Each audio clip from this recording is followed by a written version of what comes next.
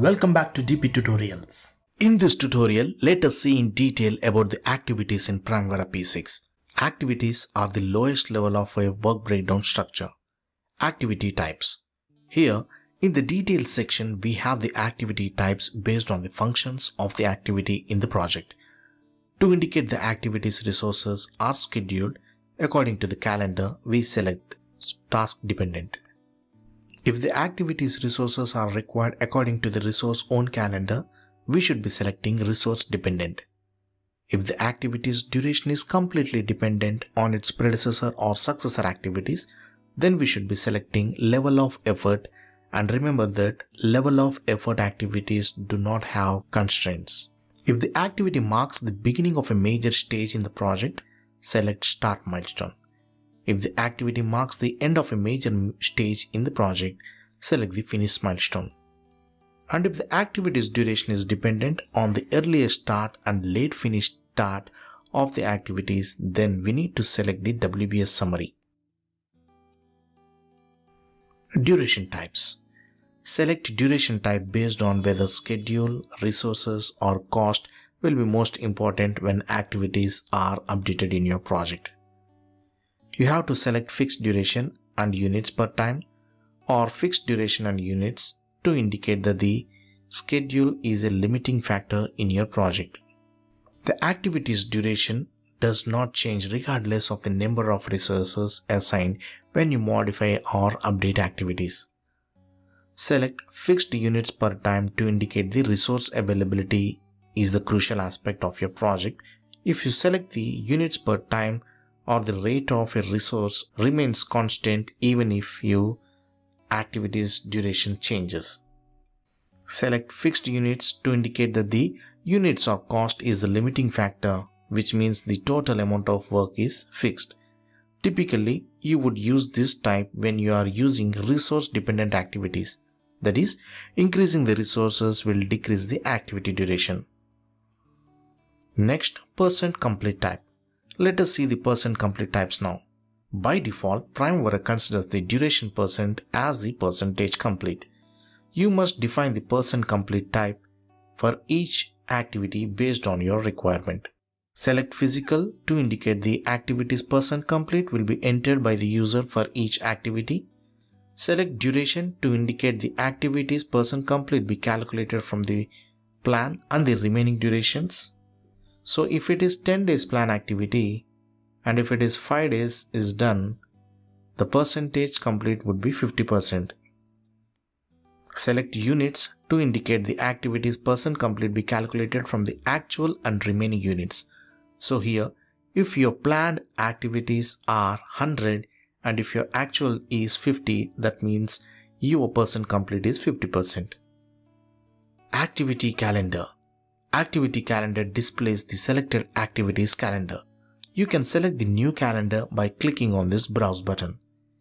WBS. Click on the browse button to assign a new WBS element to the selected activity.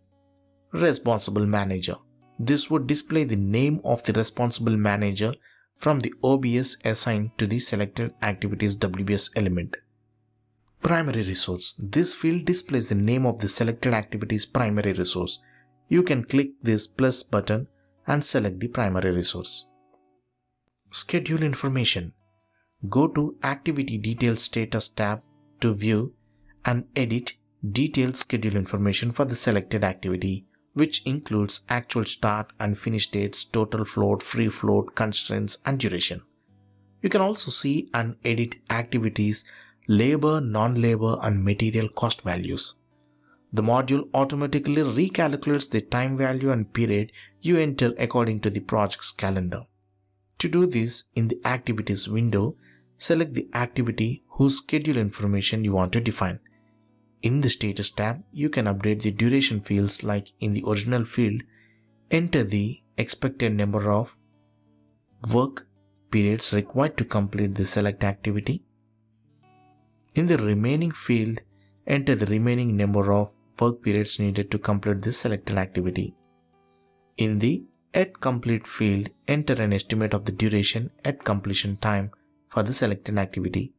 If the activity is already in progress, type a new estimate. At completion duration is equal to actual duration plus remaining duration. In the status section, you can update the start and finish dates. If the activity has already started, mark the started checkbox and then enter the actual start date in the started field. Click on the browse button in the finished field, then select if select the date if the activity is complete, mark the finished checkbox and then specify the actual finish date in the finished field.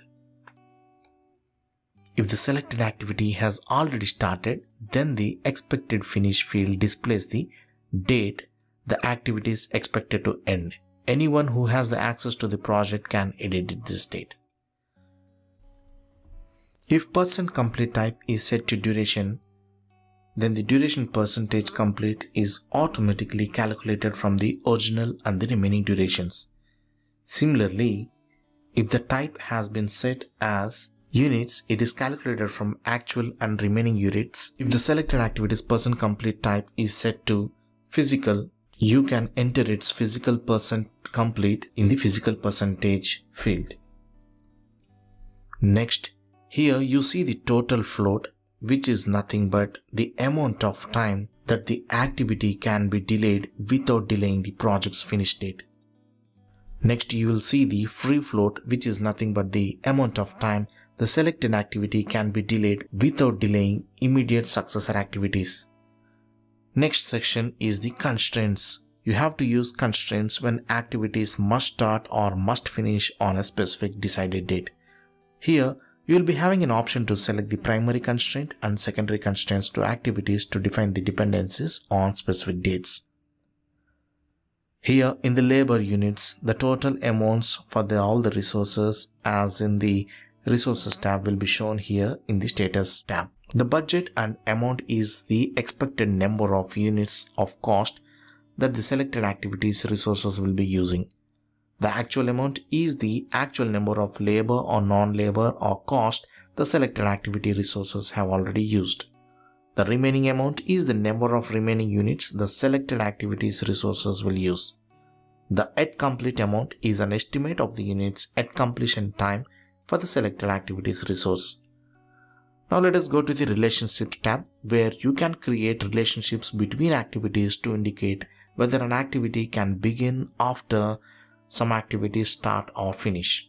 Generally, once you're done with assigning all the relationships for all the activities, you need to schedule the project to calculate the early and late dates for all the activities.